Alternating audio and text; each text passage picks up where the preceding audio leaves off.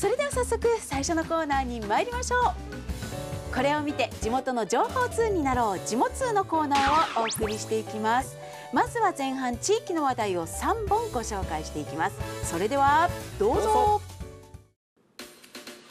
6月10日11日の2日間。第16回高校生ものづくりコンテスト宮崎県大会が県内2会場で行われました。このコンテストはものづくりの技術や技能の向上を図り将来の工業を担う人材を育成するために毎年行われていて今年は電気工事化学分析電子回路組み立てなど8つの部門に県内の工業系高校の生徒およそ100人が参加しました。宮崎工業高校では7部門の競技が行われこのうち木材加工部門は12人が課題に挑戦。配布された使用書課題に従って1日目に原寸図を作成し2日目のこの日は用意された材料を使って墨付けや加工組み立てを行いました。3時間という制限時間の中参加者たちは日頃身につけた技術を最大限に発揮して見事作品を仕上げていました。墨付けといって木材に実その寸法とかを書くときにそれがずれるとその加工自体のものがずれたりとかうまく合わなかったりするのでそこを丁寧にするように気をつけました。建築構造といって、え、実建物の力の計算とか、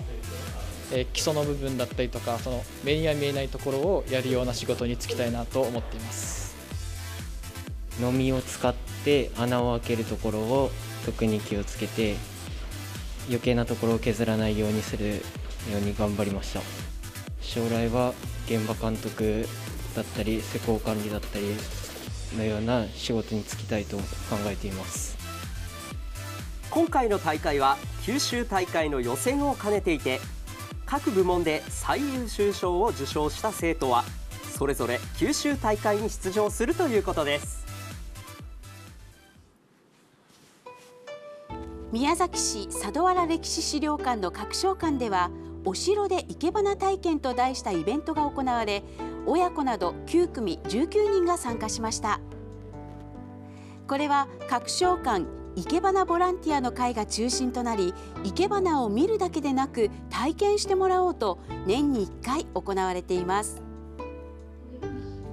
伝統的な生け花には型がありますが今回は初めて体験する人でも楽しめるようにと基本的なこと以外は型にとらわれず自由に表現するという形で実施。参加者は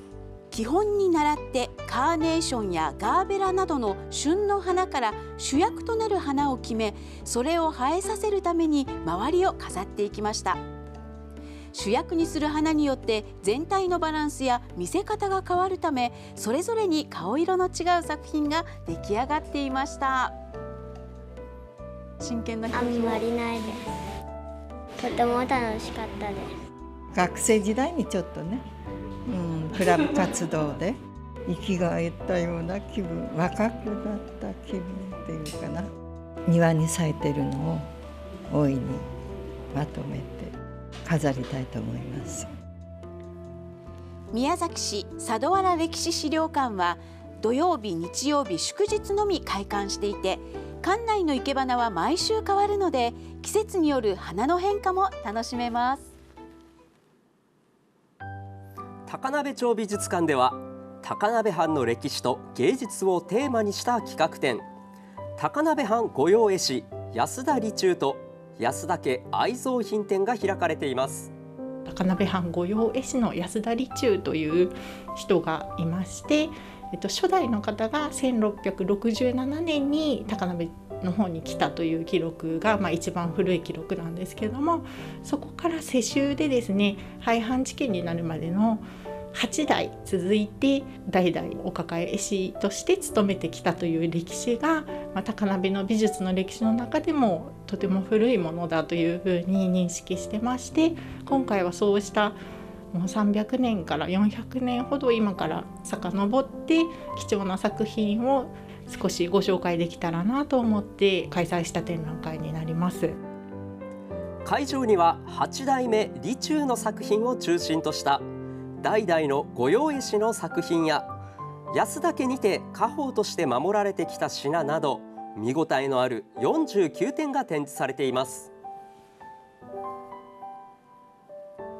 現在、えー、と宮崎県立美術館さんで帰宅預かっていただいている、まあ、安田家の作品から高鍋町内にあります正泉寺というお寺さんそして安田家さんの中でもう400年にわたって保管してこられた貴重な作品や資料を一堂にまとめてご覧いただける機会として開催いたしました。この企画展は6月26日日曜日まで開かれています。また期間中は高鍋町内にありおよそ200年の歴史を持つ安田家の武家屋敷の見学も可能だということです。ぜひこの機会に身近な歴史を学んでみてはいかがでしょうか。